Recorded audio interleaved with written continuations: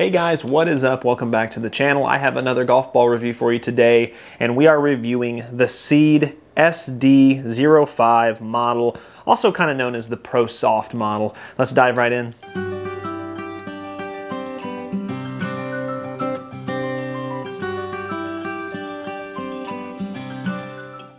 All right, so I've had a ton of requests uh, really over the last couple years, but uh, definitely a lot lately. Uh, mainly from overseas uh, viewers, but there have been some American ones too that have been asking me about the seed golf balls. You know, on this channel we test a lot of direct to consumer. We're always trying to find the best value, and this is actually a major player in the game. Um, a lot of people would consider them even top five from what I've read, what I've seen. Uh, so it's only right that we finally do a review. Now I am working on getting the rest of the lineup as well from Seed. They do make a variety of golf balls. Uh, but the one I really want to focus on is the Pro Soft. One, because I do have one here ready to be reviewed and ready to go, but also because it, it, I do tend to do a lot better with those types of balls. I tend to do better with the Pro Soft model, you know, whether it's with Vice or whether it's with a TaylorMade Callaway, whatever. It's usually their more value tour ball. That's what I end up liking a little bit better because they're softer, they're more forgiving on miss hits. Uh, they end up being for that slow to mid-fast swinging crowd. They like, usually cover a wide variety. So I just think this is a good place to start. Uh, so let's go ahead and dive in. Let's of course start with the price point. Now, most of seed balls, as far as their pro line, come in at $35 a dozen, uh, but you do have some options here. So if you want to just buy one dozen to try them out, you know, unfortunately, the price is going to kind of beat you up a little bit because by the time you pay for shipping and everything, you're looking probably north of 40 bucks. Uh, however, they do have some options such as a subscription service where you can get the dozen for $29. And then essentially you can choose either one month, two month, or three month for them to send you a new box. So if you end up liking the ball and you end up liking how it is, you could just say, hey, I want a box every three months and you only pay $29, which for a three piece urethane golf ball, is very good. The other thing that Seed does is they offer buying in bulk, which a lot of these direct-to-consumer companies do. It's a really smart thing to do, um, and essentially it's no different here. So it's like 35 a dozen if you want one, 34 if you want two, 33 if you want three, and then once you get to the 32 for four range, they also provide free shipping. So that's where you can really, if you end up liking the Seed balls, you can just say, hey, I'm going to order them for the season, kind of the way Vice does, uh, the way Snell does, um, things like that. Basically, if you just want to order for the season, you order them and you save a bunch of money. So they offer a variety of options I like that a lot. Let's dive into the look of the golf ball, the design of it. So as you can see their logo there, it is interesting. It is different. Um, it's not generic in any way. That, that definitely stands out. If you recognize that and you see it and you play it a couple times, you'll never forget that logo. So it is really unique. Um, the one there is nice and big. Let's come around on the side here to the alignment tool. Um, I do like that it is a thick black line. It says Seed SD05 to let you know what the golf ball is. I do wish the alignment tool was a little thicker. I prefer them a little thicker just because that way I can see them better it's hard to see this, especially, I mean, I'm close to the camera and you can see it pretty well, but when you're over the ball and it's rolling, it's hard to tell for feedback if you actually got a straight shot or not. It's a little more difficult. So um, I wish that was a little bigger. As far as the cover, it feels good actually. It feels like a pretty much a medium level of thickness around there for the polyurethane coating. And other than that, it does look pretty professional. It doesn't look cheap. It doesn't look, uh, you know, like you bought it from Walmart. You know, it, it looks like actually legit, like it's a player in the game. So let's go ahead and get out to the chipping and putting green. Let's see how it does around there. All right, so seed here, open the face a little bit. Crisp, crisp. Oh, it just dove right over the hole. A little too firm on that, but I will say it had some reaction. It had some decent spin. Let's try it again. Very nice. Um, it actually, you know, I expected it to have a little more spin. It does have a, a decent amount of checkup, but it's not in the top tier of what I've been testing lately. I've been testing a lot of golf balls that have been stopping on a dime. Not the case here. It does have just a little bit of checkup and then a pretty firm release. Let me see if I can kind of get it. Now that wasn't too bad, but that was very low and very spinny really low, really spinny. See, just that, that actually was hit really crisp. You could probably hear it, but it just released really firm. Let me try to get this golf ball to go either left or right. Uh, I'm gonna go ahead and open the face quite a bit. Hit a cut here.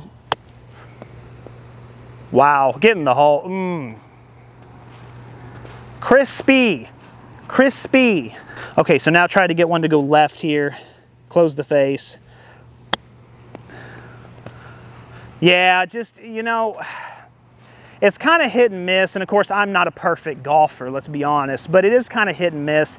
And my big thing is, is that even on nice crisp hits where you can hear it, have that loudness, it just doesn't stop like a lot of the other golf balls I've been testing have. All right, let's see how this feels here. Got the mallet putter first. Nice thick mallet putter here. Okay, little chug effect. Get in the hole. Boom! Oh, just had too much speed on it. Okay, so yeah, it had a little bit of a click there. Uh, as far as feel, I didn't really feel it that much, to be honest. It's, it's a softer golf ball. This is a heavy club. Yeah, it's pretty dead coming off the club. Oh, put your shadow on it, man. Yeah, I mean, I'd say that the roll isn't 100% true. It's like a 9 out of 10. It's really good. I would feel comfortable putting with it. Absolutely. I mean, balance could be maybe just a little off, but from what I'm seeing, it's actually rolling pretty decent. Yeah, that was a good strike. I just had way too much on it. The blade putter.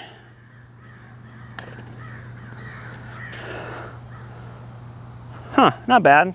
Okay, so that one, I mean, I felt it more in my hands, for sure I felt it, but as far as the sound and everything, I thought it was the same. So it's really just, yeah, I can feel it now because it's not a heavy, uh, a heavy mallet in my hands anymore, so I can definitely feel it. Uh, it's not a good feeling. I don't like it at all. If I had a blade putter that I used regularly, um, I use the mallet regularly, obviously, but if I had a blade putter that I used regularly like this, I would not care for this feel at all. But like I said, it has a pretty decent roll. Let's try to get one in the cup. Oh, come on. Hit it, hit it, hit it. Ah, la, la, la. Okay, so as far as the feel goes with all clubs across the 9 iron, 7 iron, 5 hybrid driver, um, it feels pretty good. You know, it feels like that pro soft type of model that, like I was saying at the beginning of this video. Uh, usually these golf models have a lot of spring to them. You know, they're soft. They don't offer a ton of feedback because, you know, golf balls like this I can usually hit off the toe and not lose a lot of yards because there's a soft enough compression to where even little mishits still compress the golf ball at least 95%. So with that being said, I'm not going to lose a tons of yardage, but I, I, I sacrifice that tour level feedback that a lot of really advanced players want. Um, but if you're one of these average guys, you know, like me, like you, like a lot of people who watch this, I've gotten a ton of comments lately over the Vice Pro Air. Everyone's talking about how they just love it. They love how far it goes. They love the feel that's the type of feel I'm talking about. This one has a very similar feel, so it's going to be in that ballpark. So let's get into these numbers. Let's start with the 50 yard pitch, and we're going to do backspin, of course, 7,942, which is an excellent number. That's really, really good. Uh, it had a really good amount. Uh, everything was very, there was very little disparity in the spin amounts. It was either 75 to 8,500, always in there. 8,000 is definitely more of like the golden mark. If it hits 8,000, that's pretty incredible. But 7942 is pretty darn close, so that's definitely well above my average. So good start so far. Let's dive into the 9 iron, starting with the smash factor. Uh, that's a great smash factor at 1.28. 133.3, that's a gain of about 7 yards in distance uh, on both carry and total distance. 103 ball mile per hour speed, which is bonkers. I mean, that is amazing. That's a new record, so that's that's going to break the record there. The previous record was the uh, Wright and Ditson at 102.5, so really phenomenal there. You know, if you look at the swing speed, it's it's not very much faster than what we've been doing lately, so that's just really good. 7,028, again, really good spin number there. Anything over 7,000 with the 9 iron, super impressive because that golf ball is going to hit, bounce a couple times, and probably come back to where it landed. So really, I can't ask for much more than that. Um, a great smash, smash factor, um, really good launch there at 24.4. I mean, the fact that I'm getting a little bit higher of a launch and getting backspin, but also getting distance. I mean, really, it's just like having your cake and eating it too. So that's a really great start with the nine and the 50 yard pitch. Let's keep it going with the 7 iron, 1.37 on your smash factor, which is above average, 162.1. Again, gained 7 yards with the 7 iron. That's awesome. 163.5. Again, another gain of 7 yards. 115.7, which is an incredible ball speed. Um, it's not quite as much as I got with the Wright and Ditson, but boy, it's a close second place. 5,672, a little lower than average on spin, um, but you know, I, I, get it. When you're gaining seven, eight yards in distance, you can't have too much spin, otherwise it's going to come back. So that's still enough to stop on a green. No, no big deal there. And 18.7, which is just slightly above a mid launch. So I mean, we're, we're continuing on. These numbers might not have been perfect like the 9 iron were, but they're a 9 out of 10. So I love to see that. Again, golf ball feels really springy. When you hit it in the center, you just know it. You know, it's one of those golf balls where when you hit it right, you just feel like it's going to travel a country mile, which is, if you get that joke, bravo for you. All right, let's dive into the 5 hybrid now, 1.33. So this is a, a lower smash factor number than I would have liked. I did lose 6 yards. I did lose 6 yards again on total distance. Uh, I lost about 3 mile per hour ball speed, and I actually gained spin. That is a ton of spin uh, for the hybrid, which is interesting. And then 17.1, so that's kind of the culprit there. It launched really, really high. Um, my, my issue isn't as much with the smash factor. I know it's very important, uh, but when I look at these numbers, what it really tells me is, is one, no, I didn't get the greatest performance with the hybrid. I mean, the shots were good. You know, I made sure to have, have very comparable shots, delete any of the bad ones. Um, but that high launch, along with that high spin, that definitely probably cost me my six yards. Um, when you combine those two things, I probably lost realistically four or five, and those numbers would have been very close to average. Which with a hybrid, I don't mind it being average. I, am not trying to get 200 yards out of my five hybrid because my six my six iron goes 170. I don't need a 30 yard gap, so I don't mind the distance numbers with the five hybrid as much. I just wonder about that spin. I, would have to get out to a course and test it because it could work in my favor. You never know. If I go out there and I hit it really well and I end up 175, 180, and it actually spins like it sticks the green real solid, could work out. That actually could be really good. So not the greatest of numbers, but you know what? I out of all the clubs, if one of them had to be just average, the five hybrid is usually where I want that to be. All right, so let's go into the driver. That's going to be the real tell test now. Let's see how the driver performs. Does it go back to being really good or does it follow suit and not have as much? 1.45, that is slightly above average on your smash factor. 225.9, yeah, slightly above average, good deal. 233.7, uh, slightly above average. And then, yeah, same thing with the ball speed, slightly above average. 2681 on your spin, so it did spin a little high, kind of like the hybrid did, fair enough. Um, and then 16.4, like the hybrid, wanted to launch very, very high. Um, so that's kind of interesting there. So most of the time what I see with these um, pro soft golf balls is that they kind of work for the swing speeds of 80 mile an hour to 95, somewhere in there. I would almost guess, based on what I'm seeing here, is that it's probably more along the lines of 75, 80 mile an hour to 90 or 92. I know that's not a lot of difference, but I have like a 97, 98 mile an hour swing with the driver right now. And at this point, it felt like I was starting to overcompress it. Just starting to, not, not a ton like a Wilson Duo or, you know, a 40, 50, 50 uh, 40, 50, 60 compression, excuse me.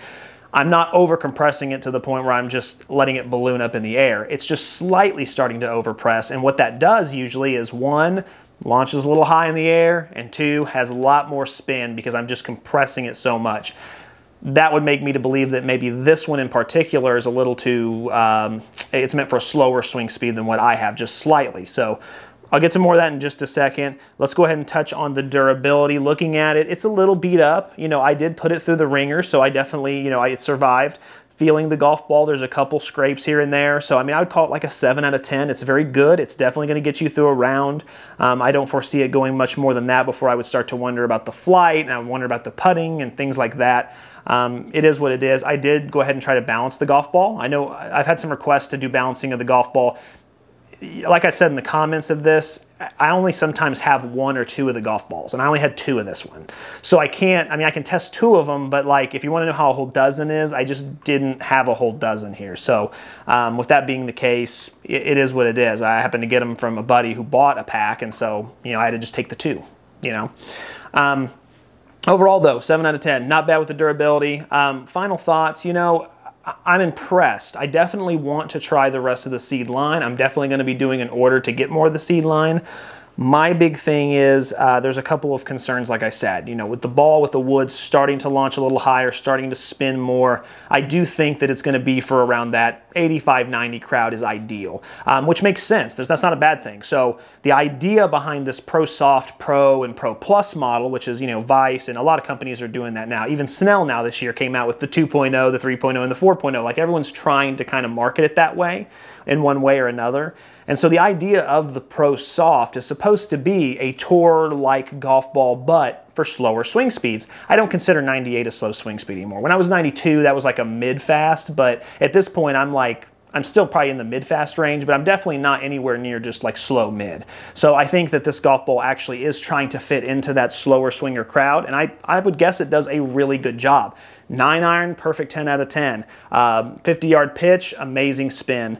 Uh, seven iron, almost record breaking. So those tell me that yes, the golf ball is phenomenal. It has amazing speed, it has amazing stats, it spins really well. I can understand why a lot of you really like it. It, it makes sense. It performs. It, it knows what it's doing. Uh, but the fact that I did start to overcompress those woods, it makes me want to order the Pro, just the regular Pro, and try that bad boy out. And that's probably what I'll do next. So as always, keep watching to keep saving and keep learning. Until next time.